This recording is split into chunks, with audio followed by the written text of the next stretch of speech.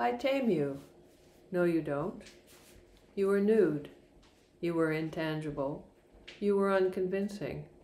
You were vague. You claimed you were born from angels. You stank of the horrors of war. You blazed with ruthless pride. Your full, loose mouth blazed. You had a fruit bloom.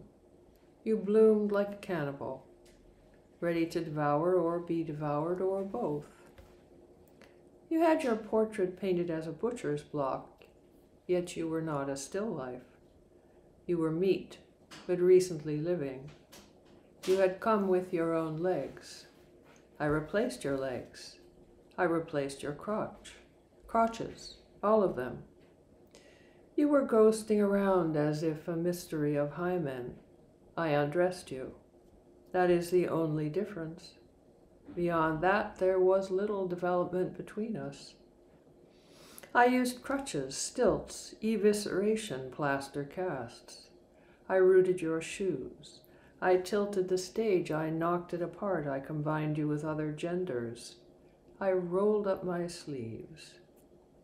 I showed you no tenderness, we might as well have been sexual, or medical, or archaeologists. I required you to clean up whatever mess we made. I used the mess again next day. I slowed your steps, inhibited your breathing, assaulted you with film score music. I littered the stage with open graves and you fell into them. Hilarious. I laughed at you. I made you walk on your hands without oxygen or effective friends. I made you build the floor you walked on.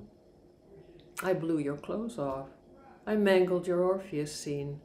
I threw someone else's thighs at you. I doused you with the waters of Lethe. I flattened you into a lozenge and stuffed you in my pocket. I shot all the arrows of King Darius' Persian army at you, then made you pick them all up. I tossed your skeleton off its slab. It smashed. I played with your skull. I got you chasing a nostalgic scrap of paper, then turned out the lights and told the audience to go home. Beyond that, there was nothing resolved between us. The legs were of various heights.